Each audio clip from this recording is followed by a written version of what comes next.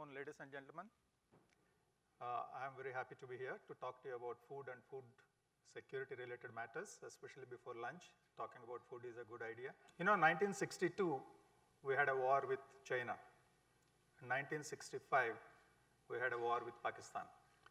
In between those two wars, India was waging a war against hunger and food shortages. If you remember, we used to get wheat donated by US through PL 480, and we were living ship to mouth. It actually forced the Prime Minister to appeal to the people to give up one meal a week. Prime Minister Shastri did that. And I remember I was seven, eight years old that time, and I was, my father was a, a revenue divisional officer, and he had an office room at home. I used to stand in that room and watch him doing his official duties. I didn't understand much, but it gave me a lot of kick to observe that. And I remember one person coming and pleading with him to allot 10 kilos of wheat and 5 kilos of sugar for his daughter's marriage. And my father had to tell him very, very nicely that so much cannot be spared, and he was given only 5 kilos of wheat and 2 kilos of sugar. Those were difficult times. But by the time we had the next war, 1971, war against Pakistan, we had overcome this food issue. And we were more or less self-sufficient by 1971, courtesy Green Revolution. Green Revolution made a huge impact on the agricultural productivity in the country. And we are, even today, self-sufficient in rice and wheat. After about 30 years of Green Revolution, we started experiencing again the challenges of food security. And one of the reasons for this is the population growth. You know, the world population has gone up to 7.83 billion today. We added a billion in the last 12 years. Indian population today is 130 crores, which is again going to be, we are going to be the largest populated country in the world by 2035. And we are likely to touch 170 crores by 2050.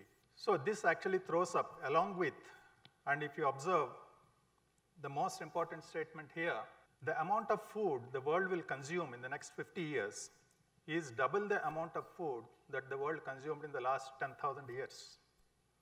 Can you believe that? That is a challenge in front of us. That is the challenge in front of agricultural scientists, the farmers, industry, and the population, consumers in general. In this background, we have to look at, and of course, the climate change. Climate change is real. It is already started affecting the agricultural yields, and in another 20 years' time, it is expected to affect agricultural yields in a much more severe fashion. So in this background, we have to define what is food security. Our food security means there are three dimensions to that. Availability, which is related to production of food, accessibility, which is related to distribution of food, and third is affordability. Billions of people in the world live below poverty line. In India itself, we have 20-25% of our people who live below poverty line. So food has to be affordable. Expensive food is not the answer to the food security situation. So in that context, if we have to look at what are all the challenge, what are all the options available to us, the greatest impact on agriculture was made by genetic modification in the last 20 years. What is genetic modification? It means moving a gene across organisms. The organisms could be related, they could be unrelated. So you could move a gene from a plant or some other organism into a crop to improve certain parts of the crop. This is called a trait. You transfer a gene, thereby you transfer a trait. A trait is nothing but a character. There are different types of traits, which, so all the genetic modification is a generic term, but there are different types of traits. So if you see here, genetic modification is a very precise science. When you move a gene in a traditional way, along with that gene, many other genes also move. But in genetic modification, you can move a gene very precisely and in a very quick fashion. So that's why it is a much more precise and quick science. There are different types of biotech traits. There are what are called input traits, and there are what are called output traits. Input traits are those which affect or which change the way we use inputs on a crop. It could be related to water, pesticides, it could be related to fertilizers. Now, output traits are those which change the profile of the output of a crop. You could change the composition of oil seeds, for example, to make that oil much more healthy. You could change the composition of rice, for example, to incorporate some vitamins in rice. Those are all called output traits. But so far, the world has seen mostly the input traits. And if you see, currently 180 million hectares of land is cultivated with GM crops in the world, which is 12% of the total acreage in the world. This is done in 28 countries. Out of that, 20 countries are developing countries. 18 million farmers across the world from developing countries have used this technology, and they are very happy with that. There are eight countries, developing developed countries, which are using this technology. India is among the top five countries using this technology. You can see the list there, US is at the top, but India is at the fourth, fourth level. So we have actually adopted through only one crop, which is called BT cotton. There is also 14.3 million farmers in India and China who are using it, and 18 million resource poor farmers who are using it. And some of the countries like Indonesia and Vietnam and even Bangladesh have introduced this technology. This is what I was talking about, the biotech traits in agriculture. You see the insect resistance, which is the input trait here. It changes the way we use pesticides. Herbicide tolerance, it changes the way we use weed management. These two really dominate the world today. 98% of the GM crops uh, carry these two traits. Three crops, or let's say four crops really dominate today. First is uh, soybean, second is maize, third is cotton, and fourth is canola. These are the four crops all over the world which have actually adopted this technology in a much greater fashion. Although there are 29 crops where GM has been done and they're approved for use by the regulators across the world. But really speaking, it is uh, these four crops which dominate. So as you can see here, herbicide tolerance, water use efficiency, which reduces the amount of water that we use for cultivation, disease tolerance, these are all already in the market. Things like fertilizer use efficiency, salinity tolerance, and heat tolerance, particularly for countries like us. Uh, I don't know whether you are aware, we have 20 million hectares of land in India, which is saline. So the farmers, millions of farmers suffer there. So there is a gene which can help us to grow crops in those fields. So there are many traits which are available in the international markets. They are getting commercialized and they can get commercialized in India. So what about the effectiveness? What have they delivered so far? If you see National Academies of Sciences, Engineering and Medicine, USA, had just published a report in 2016 called Genetically Engineered Crops, Experiences and Prospects, where they have concluded that favorable economic outcomes for producers have been achieved with this. It's a very comprehensive study. It was done over a period of two years, and these are the conclusions of that. There is a study done by, this is called a meta-analysis, done by Dr. Qaim and Dr. Klümper from Göttingen University in Germany, which has concluded that GM crops have reduced chemical pesticides used by 37%, increased crop yields by 22%, and increased farmers' profits by 68%. So it's a huge impact. It is such a huge impact that 180 million hectares are covered with the crop today. And they have also concluded that most of the farmers from developing countries have got better profits uh, from GM crops. In India, I don't know whether you can see this clearly, but India has had experience only with BT cotton so far. This is the only crop approved in 2002. When it was approved, we were an importer of cotton.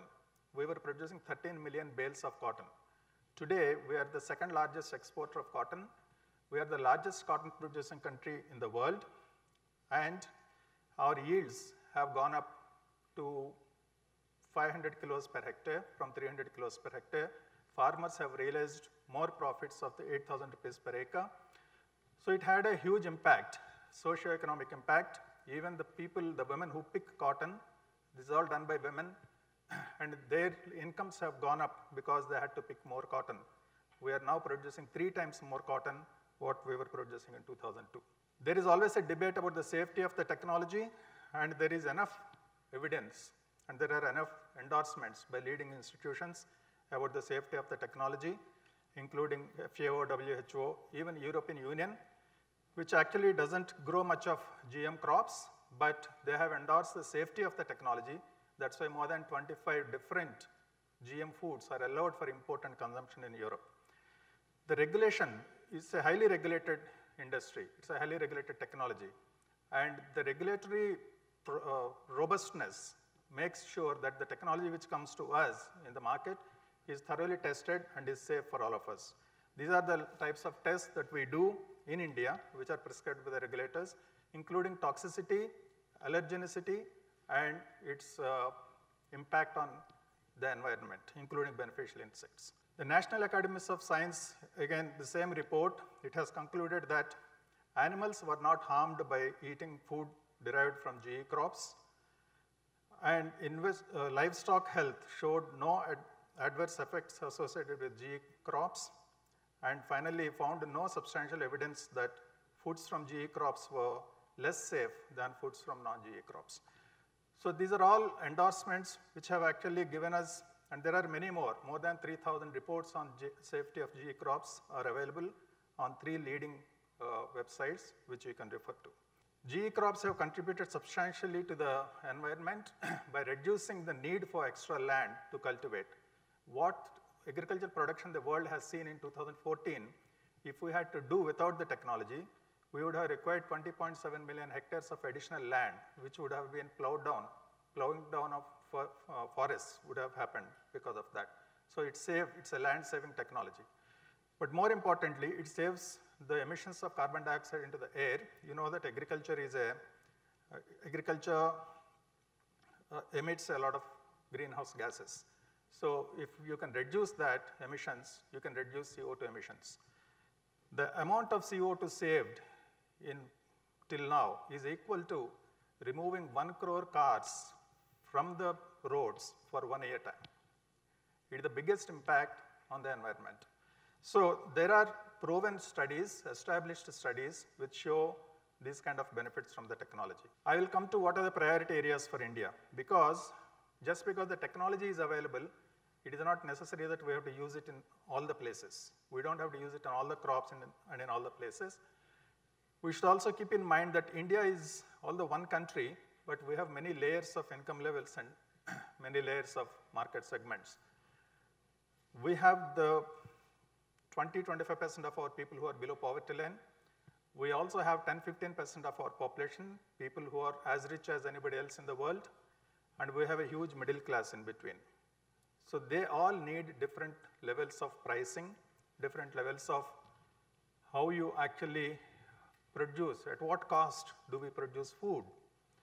So, you know, I was in a supermarket yesterday, I saw the prices.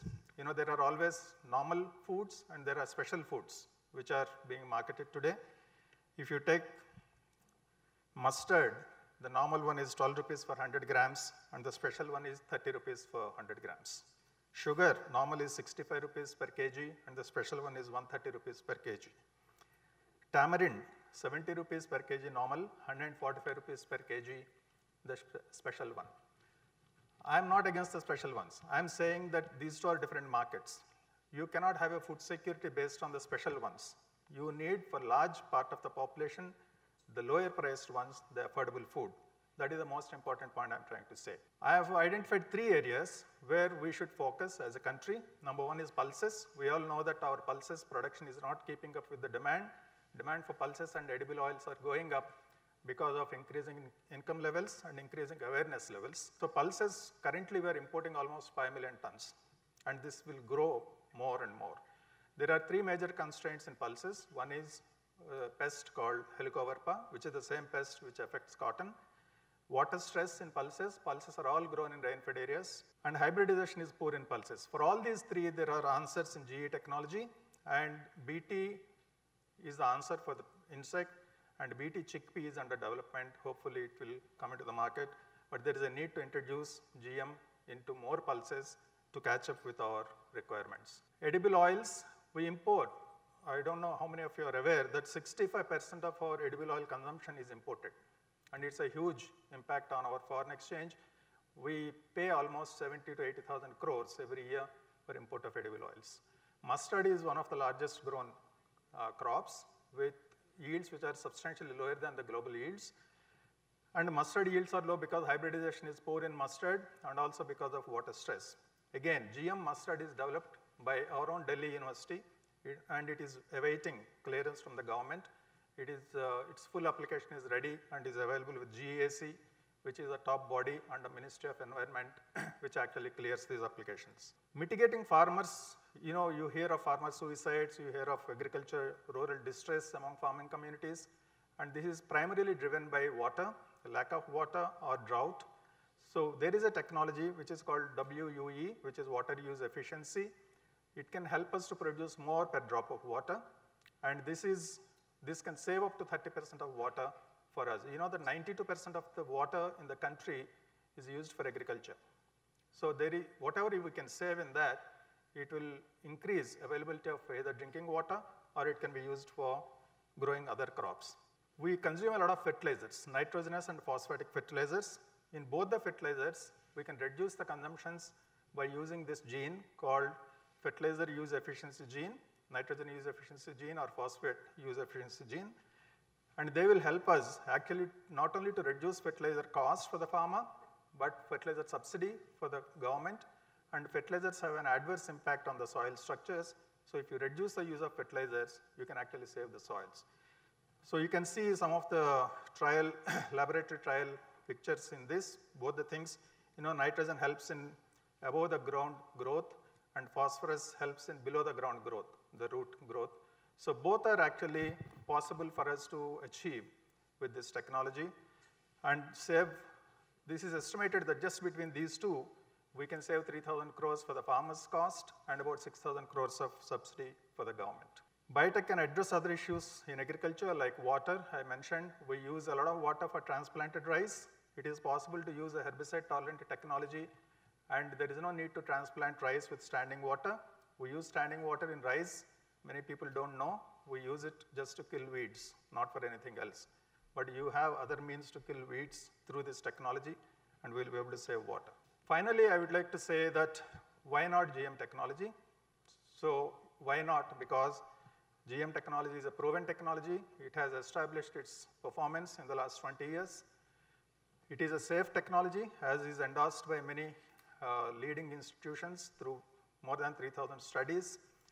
It, no single technology is a silver bullet. You cannot feed the whole population with using one single technology. So the real question is not whether to use GM or organic or chemicals. So I would like to conclude by saying that we should not shy away from using any technology for the fear of the unknown. Based on scientific evidence and the data, we should use technologies which are beneficial for us. If we don't do that, one of our future prime ministers may have to again say, please give up a meal per week, and we don't want that situation. Thank you very much.